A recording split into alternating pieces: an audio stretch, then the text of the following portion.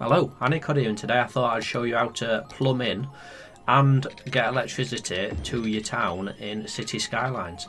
There's a couple of tutorials online uh, but I'm going to show you my own because I'm going to get straight to the point and you should be able to follow along if you don't know how to do it already. So, there's a couple of things to do with water. The first one is the water pump which provides clean water to your city. So if you look in the water there's little arrows and that shows you the direction of the water. So you want to be sucking water out right at the top of the river here and then obviously you want to put your waste which is this one right down the bottom end.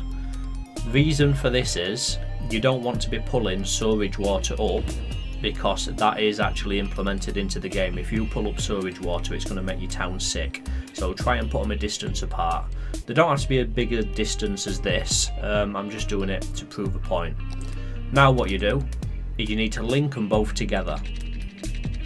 And you've got two lines, you've got your um, a green line and a blue line. The blue line is fresh water, the green line is the wastewater. And all you do then is just spur off a pipe just to cover the actual squares and that's it. Uh, a little trick with this is if you go across 420 like so it gives you a tiny little bit of overlap for you to plonk your next line down and it'll save you a little bit of money in the long run. Early game it's well worth money saving so uh, there you go. Nice little tip for you. Now there's one other thing. These need power to function both of them so sometimes it's good just put a windmill right next to one of them and link them up which is what I'm going to do now just to show you um, so you see the little blue circle, you want to make sure you get electricity feed inside that blue circle. Then you can use pylons if you want to link them together. And the game's paused at the minute, but as soon as you hit play, um, it should feed electricity and turn the pylons blue. And once both things are getting electricity, you're laughing. That's water being pumped in and pumped out of your city. Now, one quick fact on here is you can see as houses develop, they create their own little circles. So you only have to feed electricity into the circle and that'll do the whole city. So, for example, I'm going to get some pylons up and as you can see they've all got electricity problems.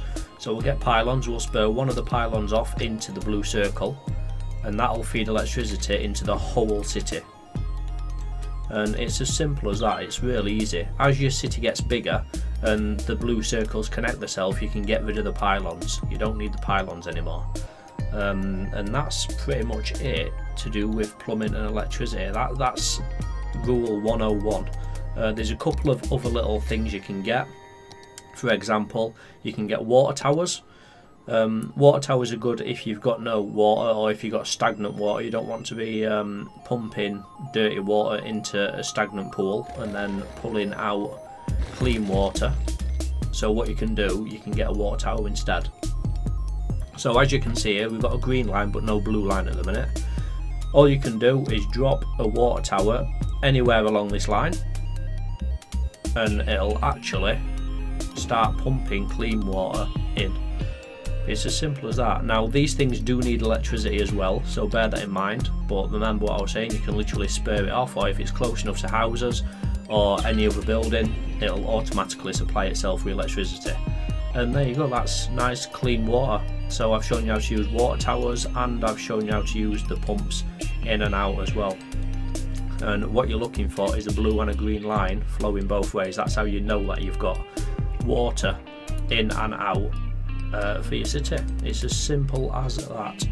Now there is a couple of other little tips. As your city gets bigger it is force of habit to put everything together in one place so you know where it is. For example cluster all the pumps up. Um, it's not a bad thing to do with the outputs um, but with the actual pumps that provide fresh water um, if you do clump a load up which I'm going to do here so I can show you once I've linked them all with a bit of pipe work um, they can actually starve each other of water. And what I mean with this is as they're sucking water up you can see the physics already in the game how it's all being sucked up. And as your city gets bigger it can actually cause big caverns in the water and, and it can actually throw your city in and out of drought. So although it is tempting to put all these together it is best practice to spread them out a little bit or put them in slightly different places maybe around one side of the coast um, just to just to keep a solid supply. Now you can check your pollution if in doubt by clicking the top left as you can see. There's no pollution at the minute because I've only just started the city but it will cause a big plume. Now this is what you want to avoid doing. Um, as you can see it's pumping sewage in. Uh, the water flow is heading straight towards the clean water source and things like that will make people ill. Now there is a top tip that I use quite a lot. Um, if you want to build things out into the ocean you can so you can keep your banks clear if you want to turn them into seasides or whatever. Just get some canal. You can plonk it literally anywhere you want. Um, you can put it right out into sea if you want, that's absolutely fine. Um, the physics will mess up for a little bit, but don't worry, it will settle down. And when you go into the water supply, you can actually put the pumps on the edge of the canal in the ocean and if you do get deep enough ocean you can completely conceal the actual pumps themselves. Um, you can do the same with um, with the sewage pumps as well. Just again remember to put them downstream and link them all up the same as you normally would with um, any other. And remember to give them power as well.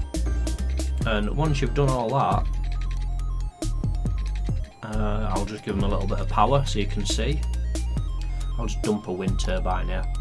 And the good thing about this is you can actually put pylons in the water so you haven't got to worry about them not being able to cross. Um, they can cross any distance and that's it, nice and easy.